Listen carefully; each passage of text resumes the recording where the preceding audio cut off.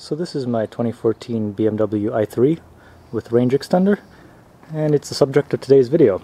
Now this car uh, is a little weird and has a bit of a mixed opinion but uh, I really like it and I've really only had one problem with it and it's flaps. Not the cool flaps like you might have in a fighter jet but these kinds of flaps. Gas flap and the subject of today's surgery is the uh, charging port flap. Um, they've both failed in, in some way or another. They're both still usable, but uh, not 100%. Now, yeah, no, it's locked. There we go. If you're not familiar with uh, electric cars, this is where the Angry Pixies go. And there's two plugs. Uh, this top one here is the standard uh, 120 or 240 volt uh, input. Uh, let's say call it about 7-8 kilowatts. this lower plug is the uh, high voltage DC um, quick charge port. Um, you can get tens of kilowatts uh, going through here. Now, if you look at the plug here, you'll see that there's this like um, lock here and that holds the plug in and prevents it from coming out unless you push this button. However, for added safety, there's a, an extra pin, you see it in white, it's kind of mangled, uh, that comes out in theory when you plug in the uh, plug and it's actively charging. And, see if I can demonstrate this, if it were to come out, it would prevent the, um, the release from coming up, therefore preventing you from pulling the plug out.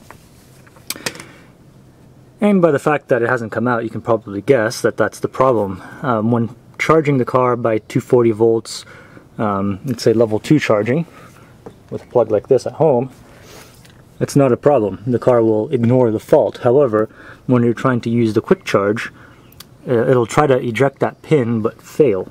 And it will detect that and it'll prevent the quick charge from, from uh, engaging. Now, I'm no stranger to working on European cars, but my usual strategy of uh, yelling in Italian is probably not going to work for this particular brand of European car. So, we must follow the procedures. All, I don't know, 20 pages of them.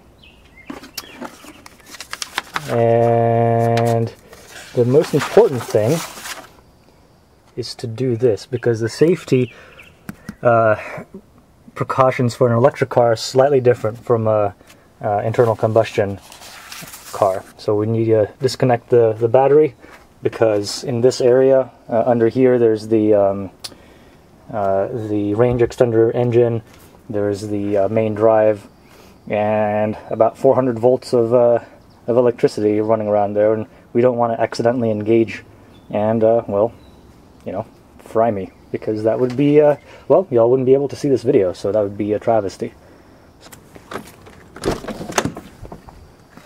And what you do that is you open the front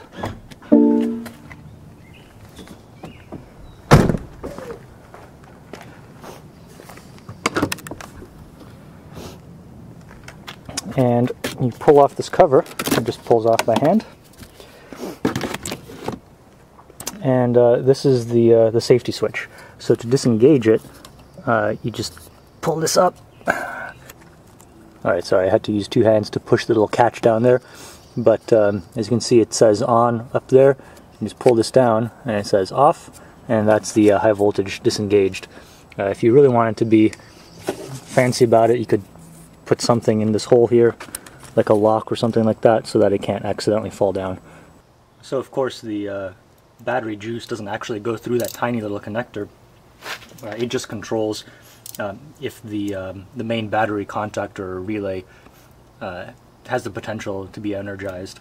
Because in, in the car there's a huge relay uh, that uh, engages or disengages when uh, power is required. So when you turn the car on, you'll hear a big clunk as that thing engages, and when you turn it off, uh, you'll hear another clunk as it disengages. When it's sitting still here, there's a chance that if the uh, smaller lead acid battery in here for the accessories runs low, it could engage that main contactor to uh, top it up from the uh, you know the big traction batteries. So definitely don't want it to do that and surprise you. So anyway, eight millimeter bolt. Do that on the other side.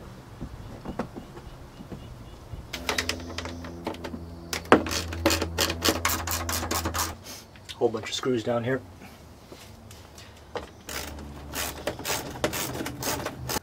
Don't forget to take out the uh, license plate holders or uh, license plate lights. The clip is on the right hand side. Should just be able to pull them right out. Go.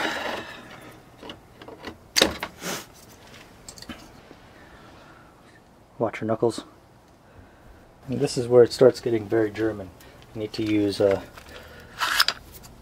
you know, one of these uh, Torx drives.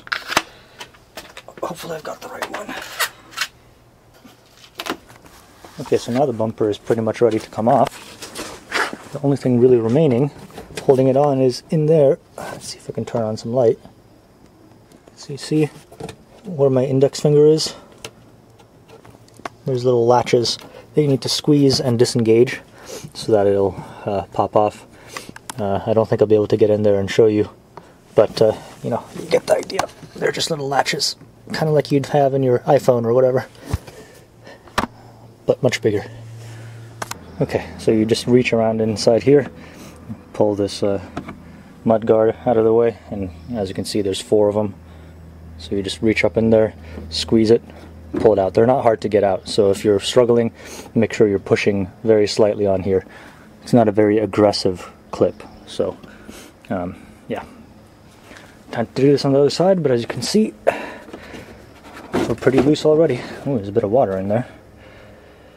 Okay, and there's a couple of plugs um, that you got to get rid of too. In theory, you're supposed to use two people for this, but I'm using my foot. And you just pull up on these uh, backup sensors. You don't have to unplug them. You just unclip. Uh, there we go. Just pull them out. Just do that for the lights too. Etc. Etc. I better put this down on the tripod before I make a fool out of myself.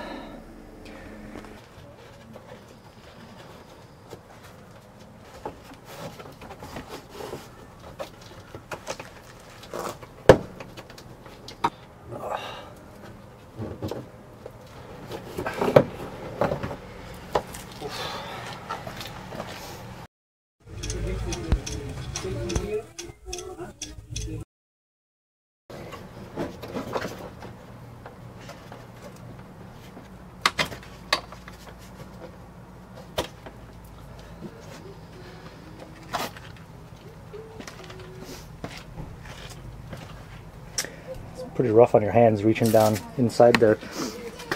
Um, on this side there's a big bundle of cables and I think the air intake for the uh, for the range extender in the way. It's hard to reach up in there, but you can do it. Maybe wear gloves. But uh, cool. So you can see these big orange cables here. I believe those are the input from the uh, charge port. Not 100% sure, but I'm sure we'll find out. Alright, so there's a bunch of screws up in here. Kind of hard to see.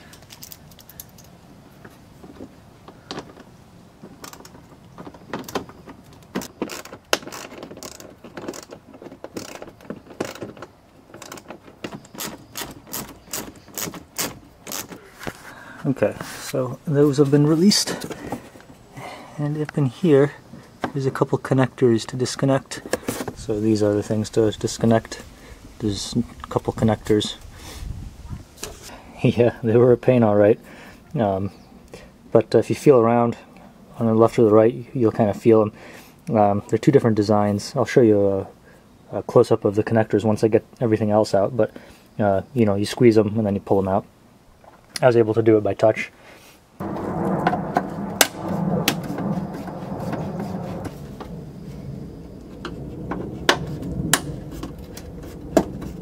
Alright, so these three screws here that you just saw me remove, pretty easy. And instructions release screws, yeah, fine. These front ones though, they're behind, they're in the door jamb. So I don't know how to access them. So here we are inside the car. and, okay, there's one. There's two. Those I can access. But three and four, I guess, I guess, yeah, okay, I guess that's acceptable. Oh, this is loose. Huh? I guess I'll fix that too. Yeah, I guess that's not so bad. I was freaking out over nothing.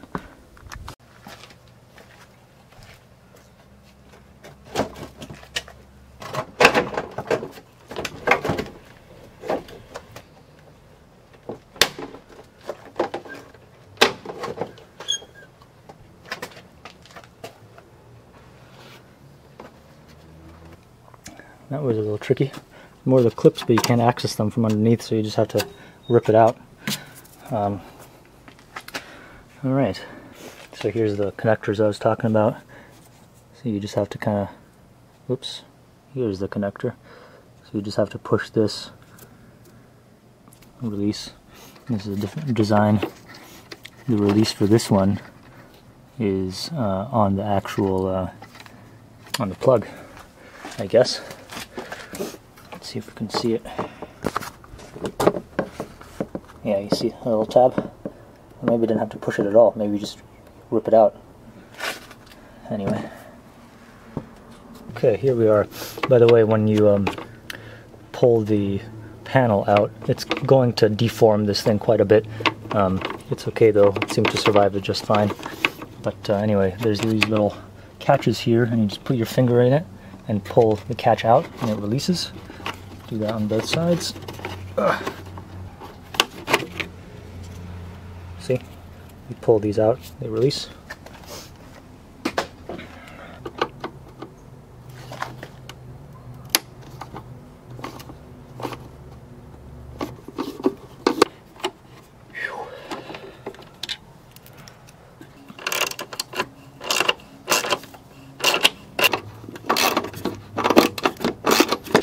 Supposed to use a fancy tool to undo the screws holding this on. I don't really understand why.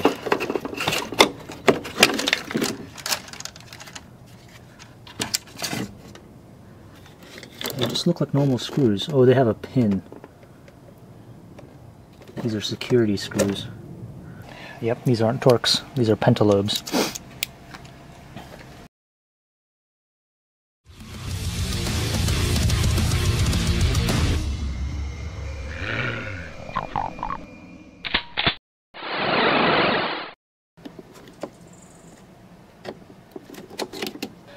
For every problem, there exists a solution. Simple flat-bladed tip. Start it with something beefy, and you can slowly back it out with these. Hopefully. Of course, I'm going to replace these with something a bit more user-friendly as soon as they come out, so I don't care about destroying them.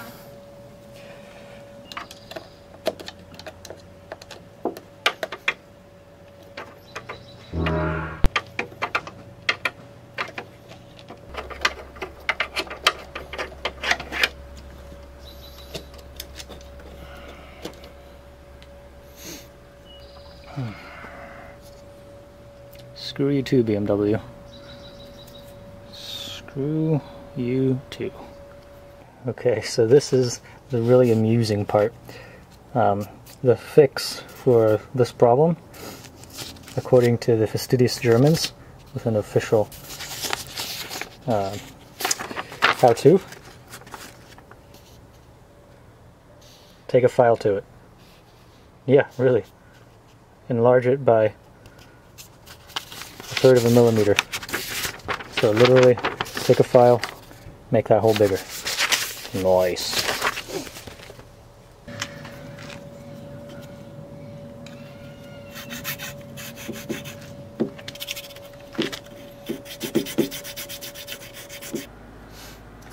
Okay, so here is the uh, little actuator.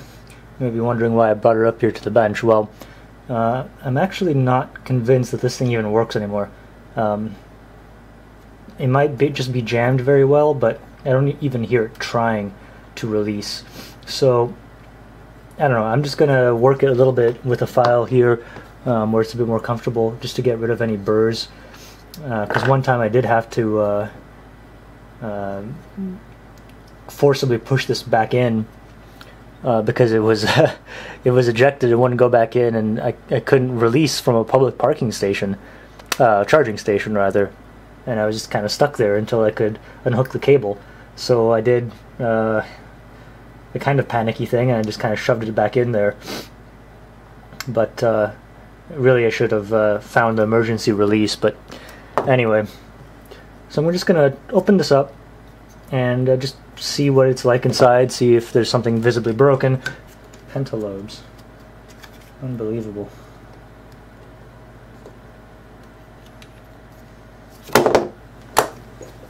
Glued or what? Mm.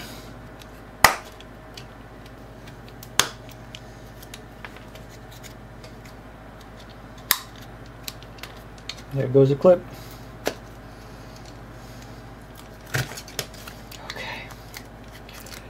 Ugh, jeez.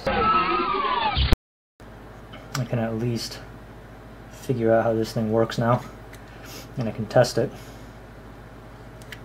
Alright, so I got Brave, and I uh, took this thing apart. Turns out that the timing is really easy anyway. Um, so this is wrong, but this is right. So if you look at it as it rolls, all the teeth engage. If it's off by one, not all the teeth engage. So, easy enough. Um, so, I was poking around looking for damage, and this uh, gear here, this compound gear, is responsible for transmitting the power from the motor here uh, to the next stage in the mechanism on this um, on the bigger gear here. But this extra little, I guess, pinion is uh, responsible for coupling the emergency release pull into the, the rest of the mechanism so you can pull the flap and uh, release the charging uh, pin. And this actually has a broken tooth. Well, upon closer inspection, the broken tooth is not actually broken. It is just kind of bent and deformed. So I might be able to just push it back uh, and have this be able to run smoothly. Uh, so yeah, I'll just try that. So I also want to test the motor in this thing. Now that I've figured out that there are no electronics in this little box, um, I can uh, kind of poke and prod things with electricity with uh, impunity. So I traced out the connections. The outer two pins, there's four pins, so pin 1 and pin 4 are directly connected to the motor. And I've got my uh, EEVblog 121 GW meter uh, hooked up in millivolts, uh, reading millivolts. And if I reach in here and spin the motor, you can see that it reacts. So that tells me that I have the, the correct pins um, for the motor. So I'm just going to unplug that. These are wires going to my power supply. I'm just going to professionally jam into the connection. I'm going to turn this down, set a current limit of, I don't know, 100 milliamps or so. Turn this on. Okay, you can probably hear it spinning. It doesn't sound super healthy, but it is spinning. Here, I'll show you. So, that's working. This is the, the emergency release mechanism, and it does have to be timed somewhat correct to work. Um, so that'll be a drag if it isn't, but this pinion or this compound gear goes in here and engages both. You might be able to get it to run open if I hold things down just right. Yep. See if I can get a full revolution out of it. Oh yeah. Okay, so things aren't working quite right. Um, it's kind of jamming up. So I've got it powered off, and I'm pushing on this, and I can't move it, which is good. If it powered up in the retract direction, there it is, it's powered up, not doing much, but if I help it, I can kind of move it. So there's, the gearing is not working quite right, unfortunately. And I thought it might be like the, um, the bearings might not be held in place enough by this damaged housing now. Um, and that may be the case, but um, I was holding it together. I tried holding it together with a vise, um, and it doesn't seem to be changing anything whatsoever. So, it's time to do some more debugging, I think. Figure out what's the problem. I mean, you know, clearly I'm going to buy a new one of these. Um, because it's silly to keep using this unit here. But for the time being, you know, I've got a trip coming up in a few days. Uh, I'd hate for this to be the thing that holds me up. So I'm gonna keep trying. I'm kind of resigned to uh, to buying a new one of these, but I'm gonna try one last thing. Um, this might affect the longevity, I don't know, um, but I'm going to add some lubricant here, uh, just some grease to all of the uh, all of the gears. Um, in the hopes that it will reduce friction somewhat.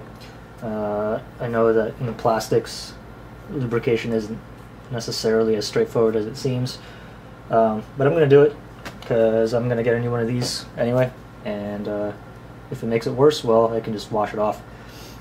Uh, I did notice that the uh, little arm here, the emergency release arm, uh, is actually driven with a hollow gear See that? And there's splines on the arm and they just kind of plug in there. So basically you can time it um, after the thing is assembled. So that's that's nice.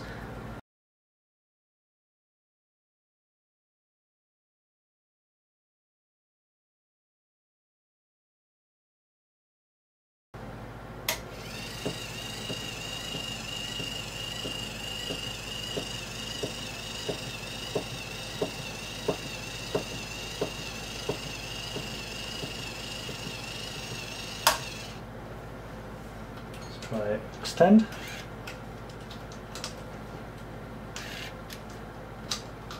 Pretty decisive, I'd say. Okay, so I think that is a working-ish unit. um, yeah. Uh, I'm going to silicone this up. I'm just going to use you know, just random silicone that I have.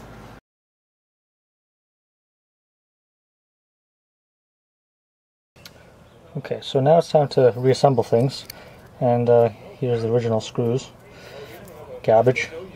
Uh, poked around in my random screws collection. Found these two black ones that seem to be pretty much the same, except in head size. If I can get both of them into the shot um, but they seem to fit so I'm going to use those I've got these second choices here these aren't quite the same though so in thread so try those first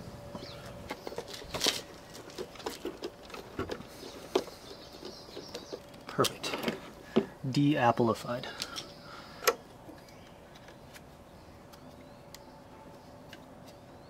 all right time to put this thing back together and then give it a test. This way, I think.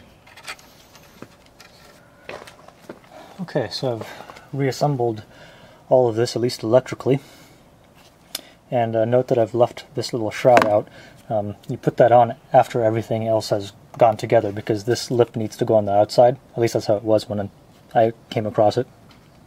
But I'm actually going to leave this off until I know everything works and probably until I replace that um, the actuator because I might actually be able to service this um, without taking the entire side off of the car. Mm, maybe, maybe not. Anyway, I'm going to leave the option open, so I'm probably going to just put this in the back of the car and just wait. But anyway, I've reattached the high voltage um, disconnect at the front of the car.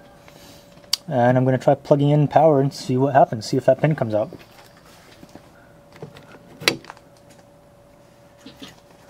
Okay, well it's accepting charge anyway. I might have to lock the car. Let's see. Oh yeah, there it goes. So it's locked into place now. And if I unlock it, it comes out. Nice. Okay, time to reassemble everything. Okay, a couple top tips. Uh, I made the mistake of putting this screw in before putting the uh, um, the bumper on and now I have to take the bumper back off to get that out. Whoops. Explains why uh, I was having trouble accounting for all the screws because I'd put this one in the pile for the bumper. Anyway, second, make sure you thread these in. The license plate holder, uh, sorry, license plate light holes before closing it up. Fortunately, I remember to do this, but otherwise they'll be way down in there and you won't be able to fish them out. Finally, make sure the little gaskets are around the uh, ultrasonic sensors. Um, mine was missing one uh, from before, which is not good, but uh, I'll be replacing that when I can. But uh, some of the other ones fell out during disassembly, so make sure to pick those back up. Man, this car is dirty. Anyway. So I booted up the car and uh, now it's complaining about both uh, turn signals being out. Um, let's see, over here, over there. Right, so it's complaining about these. Um, they seem to work though. So I don't know. I'm going to see if the issue is still here tomorrow morning. Um, the car tends to reset overnight with these faults. Uh, so yeah, we'll see. Hmm. Annoying.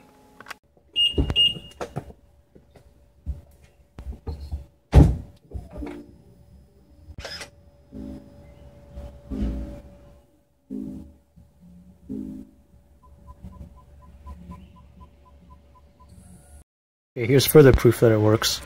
So if you have the hazards on, and you open the trunk, it'll start blinking the those bumper lights, and they're all working, and reverse works too. So, yeah, I'm pretty sure it just stored a fault from where uh, from when this thing was all disconnected, because I did turn on the car a few times. But uh, anyway. And kind of as expected, after I left the car locked for about 15 minutes, um, the computer reset and everything is fine. Catch you next time. Thanks for watching.